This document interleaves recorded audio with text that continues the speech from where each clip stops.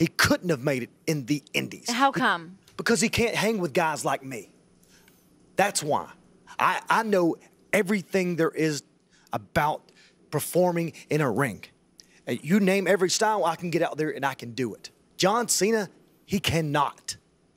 John Cena's strong. That's what he has going on. He's got a great mind for that ring, but there's more to it than that. And, and John Cena went in the last two seconds in an independent ring.